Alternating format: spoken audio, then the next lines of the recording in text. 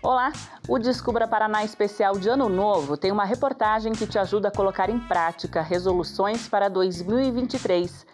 A gente também tem várias sugestões de hospedagens inusitadas. Tem quarto em formato de bolha e casa na árvore. Desenhos e objetos de Alfredo Andersen, considerado o pai da pintura paranaense, passam por um importante processo de conservação. Isso e muito mais você assiste agora no Descubra Paraná.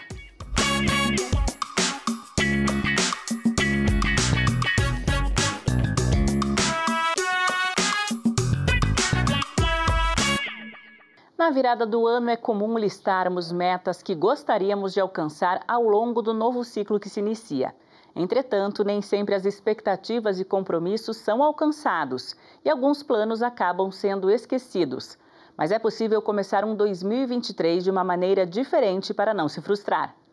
Quem é que nunca fez uma promessa no primeiro dia do ano? A gente sempre faz metas aí para o ano, né? Para que a gente também tenha um pouco de foco, um pouco de direção, né? Para que lado que a gente vai. Quero passar de ano e é, eu quero viajar para fora do país, que eu nunca sair para fora do país. Afinal, toda meta começa com um sonho, mesmo que algumas não sejam tão possíveis de serem alcançadas. Viajar, não precisa ser para fora do país, pode ser até fora da terra. As resoluções têm como objetivo trazer algumas mudanças positivas na vida, mesmo tendo que adaptá-las ao longo do ano. Sobre as metas, eu costumo montar elas de acordo com cada área da vida, né? Espiritual, financeira, profissional.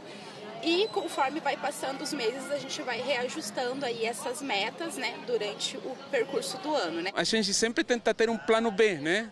É, seja até o plano C, né? Então a gente sempre pensa, é, se não dá certo uma coisa, a gente tenta fazer outra, né? Mas a gente sempre dá um jeito, né? Para para ter sucesso. Como previsível, nem sempre é possível cumprir todas as metas. Eu, por exemplo, fracassei ao tentar ler um livro por semana e comer menos doces. Mas se quase ninguém consegue cumprir as resoluções de ano novo, vale a pena traçar novas metas? De acordo com a psicologia, vale sim. Desde que o mundo é mundo, a gente chega no final do ano, a gente quer fazer as nossas metas. E é de praxe, assim, sabe? Então é um costume, na verdade, a gente foi acostumado a isso. E a psicologia explica por que, que a gente faz isso. Porque traz uma esperança. Traz, ah, esse ano vai ser melhor, esse ano vai ser diferente, eu vou conseguir realizar outras coisas. Existem algumas formas indicadas para colocar as resoluções em prática, por meio de pequenos ajustes nesses compromissos firmados no início do ano. Eu acredito que as, as metas ideais que a gente pode fazer, como eu falei, é as metas a curto prazo, né, curto e médio prazo, e as metas que não dependem de fatores externos, é, metas que só dependem de nós, né? porque a gente espera muito dos outros. Ah, eu vou começar a academia se alguém for comigo. Ah, eu vou começar um, a sair mais com, só se for com um amigo.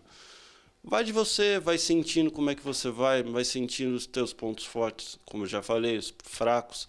Então é você se sentindo, não pensar muito no depender do outro. Muita gente gosta de viajar para sair da rotina. E se essa for a sua intenção, que tal se hospedar em locais inusitados?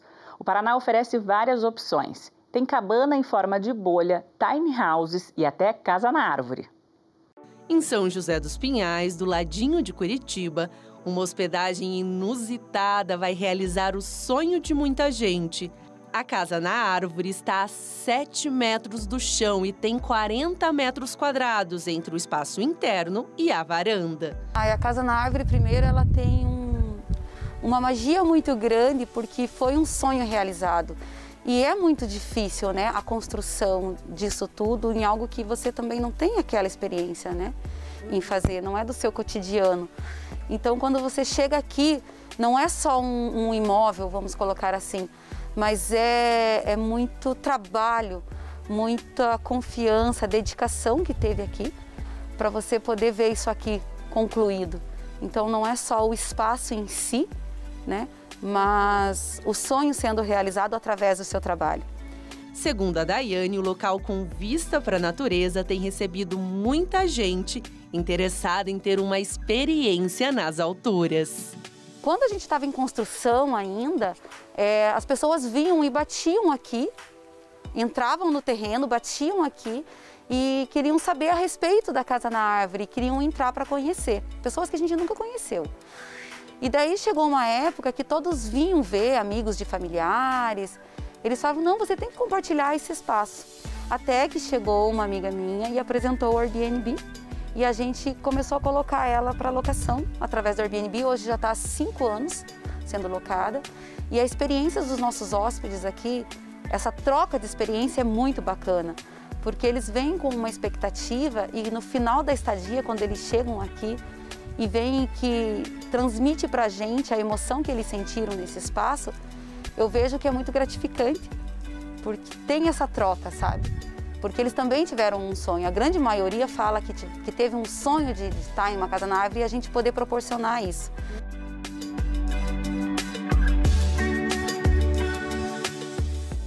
Também em São José dos Pinhais, fomos conhecer uma cabana em formato de bolha. O espaço com teto transparente muda a ideia do que é estar ao ar livre. O pessoal ele vai basicamente fazer uma imersão à natureza, né? vai ficar de forma bem tranquila aqui, ah, vai poder estar tá utilizando né, de banheira de hidromassagem que tem, de rede suspensa que a gente fez, vai poder fazer uma fogueira no deck é, em meia natureza, em meia mata, em céu aberto, né? Então vai poder ter todas essas experiências aí com a sua pessoa que desejar trazer, né? De lá, partimos para a zona rural de Contenda, a pouco mais de 50 quilômetros de Curitiba. Por aqui, o Rodrigo e a Viviane construíram duas cabanas sustentáveis. Essa em formato de A é uma tiny house de apenas 11 metros quadrados.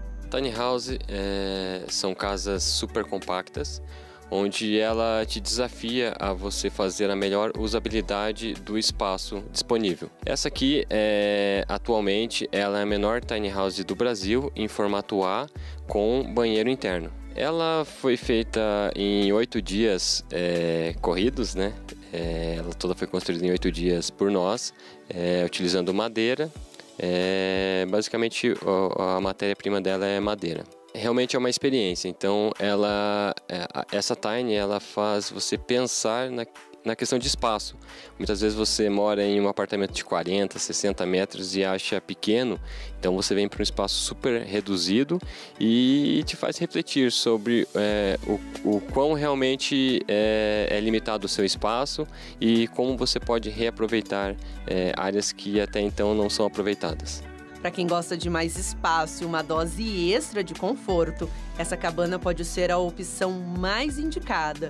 Ela tem 40 metros quadrados e foi construída no alto do morro. É ideal para quem busca novas experiências, contato com a natureza e tranquilidade. Nós queríamos que ela sentisse o contato com a natureza, é, é, com a simplicidade ao mesmo tempo, porque hoje em dia as pessoas querem mais mais o ter, né? Então ali a gente não tem, não tem muito luxo, porém ela é uma cabana super confortável, que as pessoas conseguem passar as diárias confortavelmente. Ela tem simplicidade, mas ao mesmo tempo ela tem tudo. Ah, alguns querem esse contato com a natureza mesmo, é, outros vêm buscando referências, né? De construir algo parecido e se identificam com a nossa história também. A 50 quilômetros de Curitiba, o distrito de São Luís do Purunã também oferece hospedagem em tiny houses. Os espaços minimalistas foram pensados para trazer conforto e funcionalidade aos hóspedes. A possibilidade que a gente tem de compartilhar esse espaço com as outras pessoas, né? Então a gente vem é locando as nossas casas para outras pessoas, para amigos, para as pessoas, e a oportunidade nesse momento também de poder compartilhar com elas esse momento, essa paisagem, ao mesmo tempo poder servir, que é algo que é muito interessante para a gente, né? Para eu como um, um, artista eu sempre quis é, proporcionar às pessoas alegria através da música e estar aqui a gente proporciona alegria através de outras situações, outros signos, outros códigos. Quem gosta de conhecer lugares inusitados também vai curtir essa casa temática que fica em Campo Magro, na região de Curitiba. O espaço é inspirado na Casa dos Hobbits, personagens da famosa trilogia de Senhor dos Anéis. Nós temos essa propriedade há muitos anos, uma propriedade que tem uma estrutura e uma beleza natural. E então a minha filha quis buscar um segmento alternativo, que seria criar um ramo de hotelaria, um ramo de pousada, bastante com atendimento bastante personalizado e com uma alimentação saudável. Então essa é, é a primeira célula deste projeto, tá? que é uma casa temática que lembra o romance do Senhor dos Anéis, a história dos hobbits.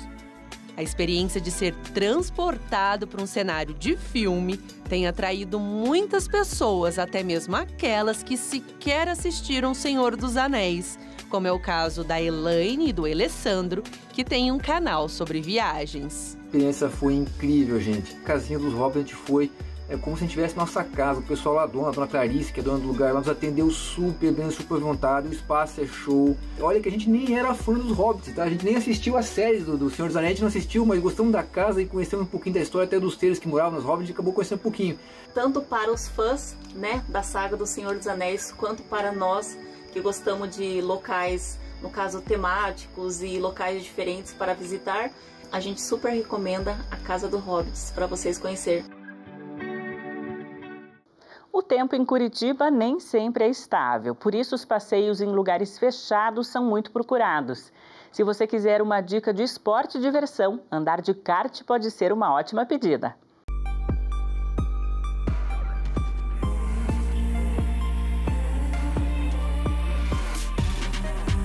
Velocidade e muita adrenalina. Em uma pequena pista no estacionamento de um shopping em Curitiba, amantes de corrida podem se tornar pilotos por alguns minutos atrás do volante de um veículo de kart. O Anderson é o responsável pelo espaço e fala sobre como a modalidade de kart indoor, aquela que é realizada em espaços fechados, tem crescido no Brasil.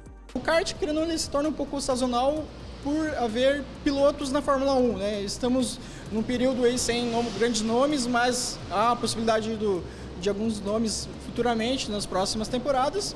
E o Paraná, que ele não tem inúmeros lugares, né? Cidades maiores aí, a partir de 100, 150 mil habitantes, possuem pistas de kart, de locação de kart indoor. E não faltam apaixonados pelo esporte. O Alex é um deles e não perde a chance de competir sempre que pode. Eu comecei aqui em, acho que faz, vai, acho que faz um ano mais ou menos.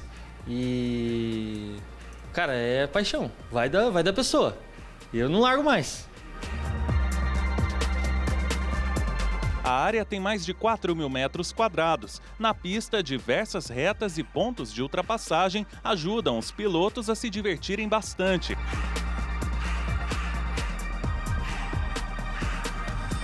Os veículos são pequenos e variam de 70 a 150 quilos e podem chegar a 60 quilômetros por hora. Bom, e eu não poderia ficar de fora dessa experiência, mas antes de poder encarar a pista, a gente tem que ter as instruções. E o Rafael é quem vai contar pra gente quais são as principais instruções para poder andar no kart indoor. Quais são elas? As principais instruções são kart, pista e bandeiras, né? A questão do kart, ele só tem dois pedais, como verde acelera e vermelho freia. E a principal instrução é nunca usar os dois pedais juntos. Ou você vai acelerar ou você vai frear um pé de cada vez. Senão isso faz danificar o motor do seu kart e ele pode acabar apagando. Daí você, se for acelerar, você solta o freio, se for frear, solta o acelerador. Isso aí, olha só, instruções dadas. A gente então não pode perder tempo porque eu tô doido para conhecer como é andar nessa pista de kart indoor. Vamos lá.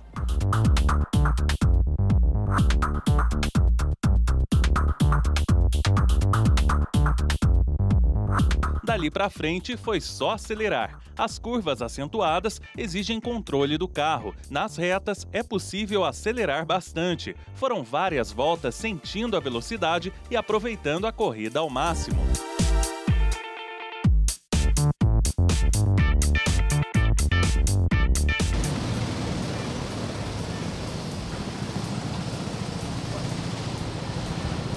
Opa, é isso aí, gente.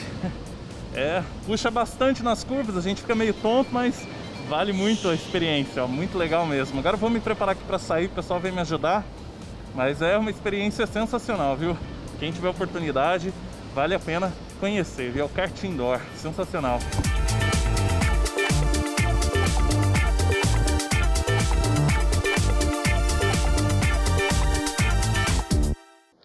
Local de fácil acesso, com um belo lago e paisagem de tirar o fôlego.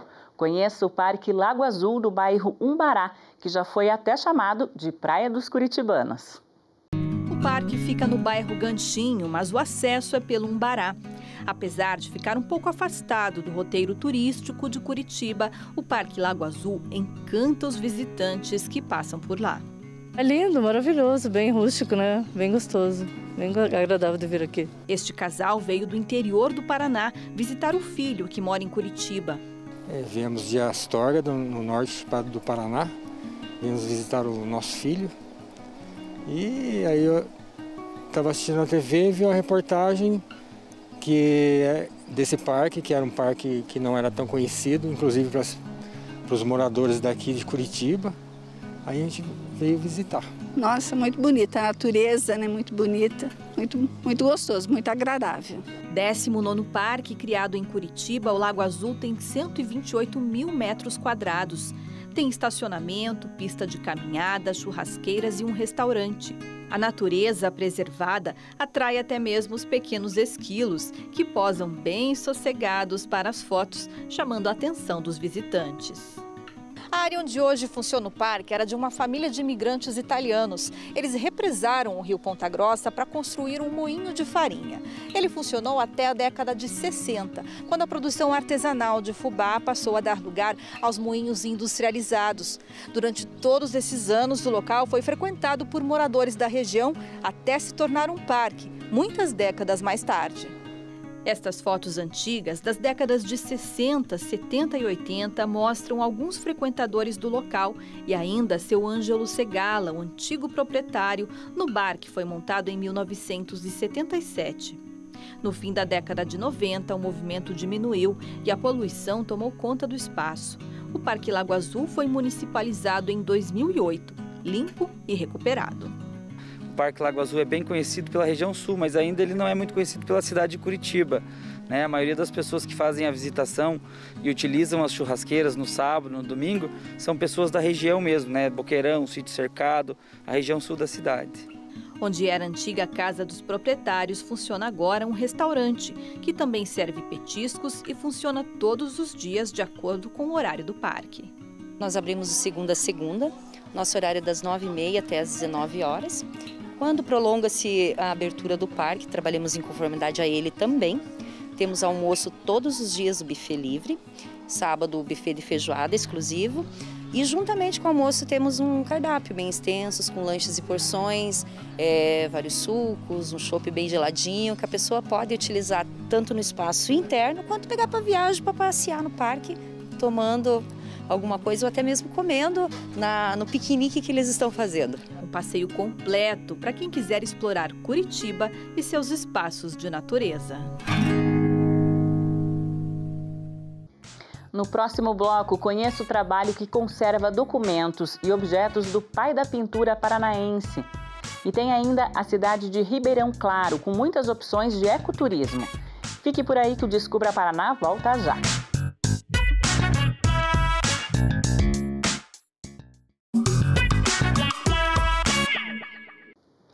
Documentos do pintor Alfredo Andersen passam por processos de conservação.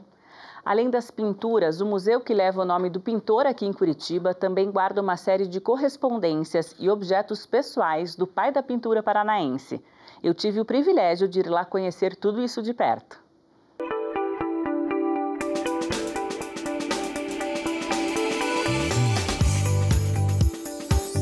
As anotações neste caderno foram feitas à mão por Alfredo Andersen, considerado o pai da pintura paranaense. Aqui estão detalhes de como ele organizava as aulas, o trabalho de venda de quadros e nas páginas existem também registros, como as assinaturas de quem participava das exposições que Alfredo Andersen organizava. Esta é apenas uma das relíquias guardadas no museu em Curitiba que leva o nome do artista.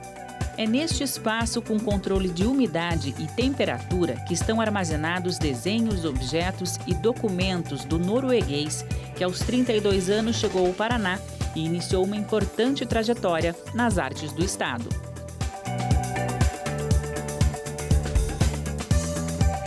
Esse trabalho ele veio para agregar muito a nossa casa, o nosso acervo, a Casa Museu Anderson, porque são materiais únicos, né, raros, peças raras, como tem um desenho do Anderson aos 12 anos. Então, para que isso possa ser guardado de uma forma, é, da melhor forma, digamos assim, a gente precisa de, de manter da forma correta. Então, é, nós estamos muito felizes com a oportunidade de ter essa equipe profissional que veio tratar com tanto carinho de um acervo que é rico para nós e que vai dar aí uma longa vida, né? Que a gente vai conseguir permanecer com eles por mais um tempo para mostrar a tantas pessoas interessadas em conhecer a arte e o pai da pintura.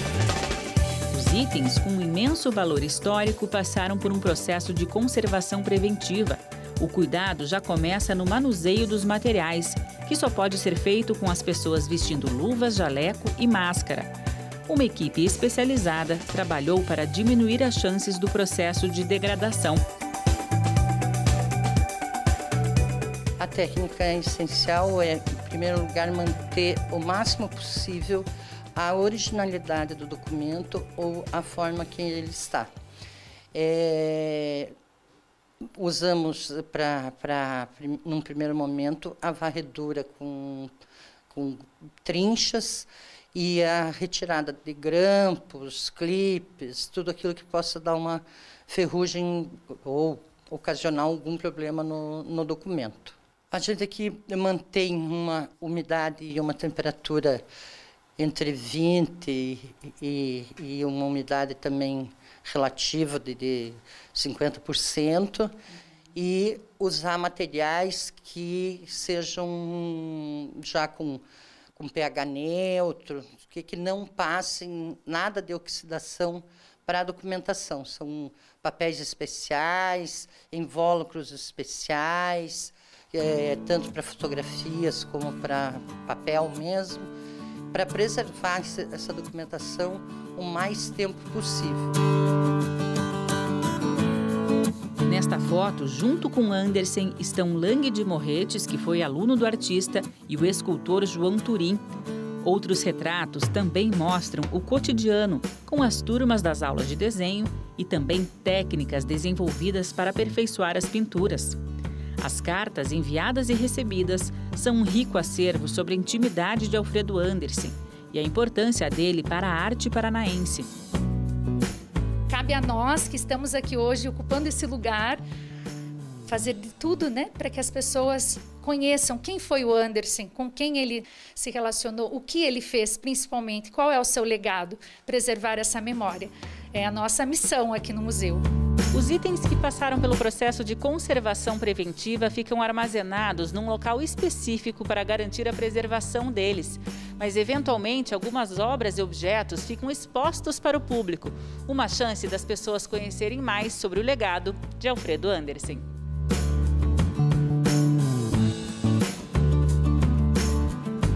O acesso à cultura é fundamental, mas existe toda uma logística é, até para conservar, né, é, por, por, questão da temperatura, por questão da, da luminosidade, e, e, também tem uma rotatividade para que as pessoas venham aqui e sempre estejam vendo coisas novas.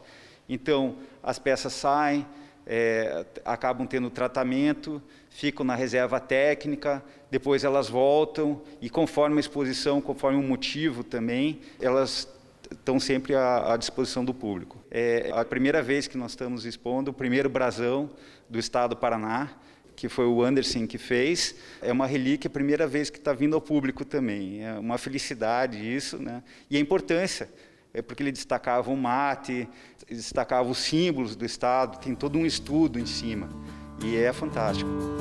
O acervo não é aberto ao público, mas quem tiver interesse pode acessá-lo de maneira online muita coisa assim que a gente consegue descobrir da rotina do artista naquela época, das dificuldades que ele passou, com quem ele conviveu, da família, das cenas comuns e cartões de visita, né, que são os cartões que eles trocavam, é, é fotógrafo, é político, pessoas com quem ele teve uma relação. Então, são muitas peças né, que a gente consegue ver todo o desenvolvimento, a trajetória do Anderson, os esboços, o quanto ele fazia né, para chegar num quadro, os estudos, né, para chegar numa imagem, numa tela. Ele muitas vezes quadriculava uma foto, ou os estudos de anatomia, animais, paisagens, e tudo a gente vê que ele era muito detalhista. Mesmo num crayon, num desenho, ele fazia né, com muita perfeição, assim, com muita riqueza de detalhes é muito bom assim poder fazer parte e nós só temos que agradecer a essa equipe que veio trazer todo esse benefício para casa.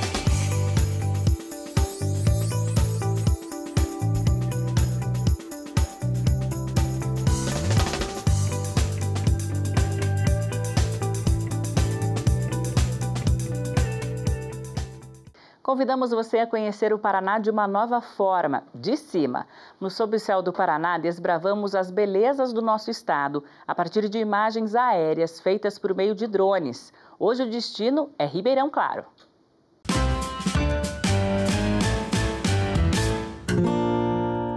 O município de Ribeirão Claro, no norte pioneiro do estado do Paraná, tem o passado marcado pelo café Localizada a 397 quilômetros de Curitiba, a cidade faz fronteira com Chavantes, em São Paulo. As cidades são divididas pelo rio Paranapanema. Com pouco mais de 10 mil habitantes, Ribeirão Claro preserva a vocação rural e produz leite, milho, geleias e compotas, além do café. A criação de gado e aves completam esse quadro. Ribeirão Claro também é um grande destino turístico, no passeio pelas fazendas Monte Belo e São João, é possível acompanhar a produção do café e de outros alimentos, além de desfrutar do aconchego da vida na fazenda e da culinária local. O turismo ecológico e de aventura também são atrações do município. O Morro do Gavião e a Rampa Pedra do Índio são destinos procurados para a prática de esportes radicais, como rapel, escalada e voo livre além de oferecerem uma bela vista da represa. No quadro Deu Saudade de hoje, você vai acompanhar a viagem da Pamela e do Fábio, que se encantaram com as belezas do nosso litoral.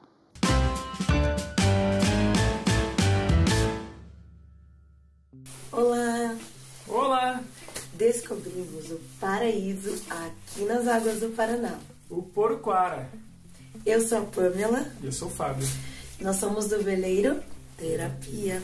O Poruquara ela é uma comunidade que pertence a Guaraqueçaba. Ele fica entre a Baía das Laranjeiras e a Baía dos Pinheiros. Seu acesso é, são por canais via água, você vai passar por várias comunidades, ou por terra, você pode ir até Guaraqueçaba e de lá pegar um acesso que dá a parte da Baía do Poruquara. Para você chegar ao Poruquara via água, é um espetáculo à parte.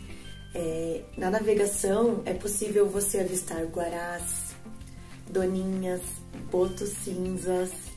Além de ir no caminho ter um sambaqui, é, lá na comunidade do Poruquara, ela é famosa pela criação de ostras, tem cachoeiras para serem visitadas lá, uma qualidade de água espetacular, então as ostras de lá são maravilhosas. E nos finais de tarde você pode ir até a Ilha dos Papagaios e ver a revoada ao entardecer de casais de papagaio que chegam à ilha. Este é um passeio pouco conhecido, mas inesquecível. Fica o convite a você que gosta de aventura e de conhecer a beleza do nosso estado. Tchau, tchau. Tchau, tchau. Viajar é sempre bom, né? Mande pra gente também um vídeo falando sobre alguma viagem que você fez pelo Paraná e que deu saudade. Para participar é só enviar uma mensagem pelas nossas redes sociais. Nas nossas páginas de YouTube, Instagram e Facebook, você também pode rever as matérias, os programas, dar sugestões e também compartilhar os nossos conteúdos. E hoje o programa já terminou, mas semana que vem nós voltamos com mais lugares para a gente explorar aqui no Descubra Paraná. Hoje eu me despeço com as imagens de Ribeirão Claro. Tchau!